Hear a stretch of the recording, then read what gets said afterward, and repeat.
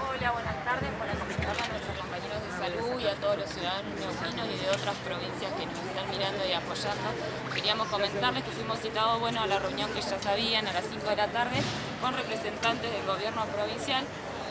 los cuales no llegaron hasta las 18 horas, estuvieron esperando una total falta de respeto como ser humano.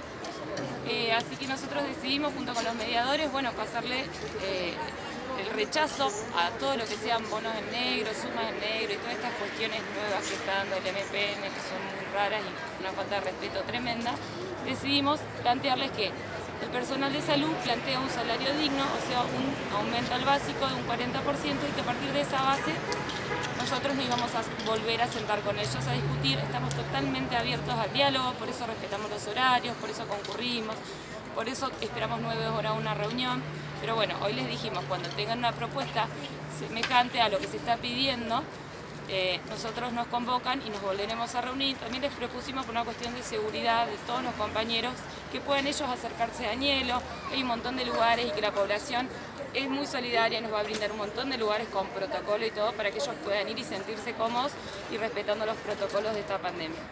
Así que bueno, le dejamos informado esto, nos retiramos para poder dejarlos trabajar y que piensen a ver qué propuesta nos pueden dar al personal de salud ya que la segunda ola es inminente y necesitamos estar dentro del hospital.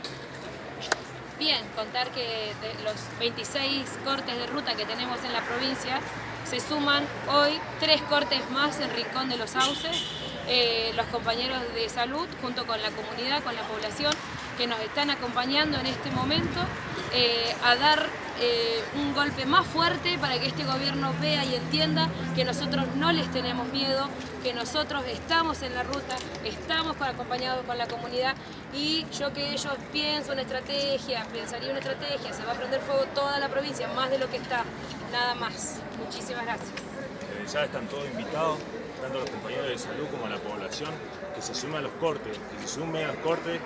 que la fuerza no se va a terminar y tenemos que dar vuelta al gobierno para que nos dé lo justo y lo necesario que estamos pidiendo.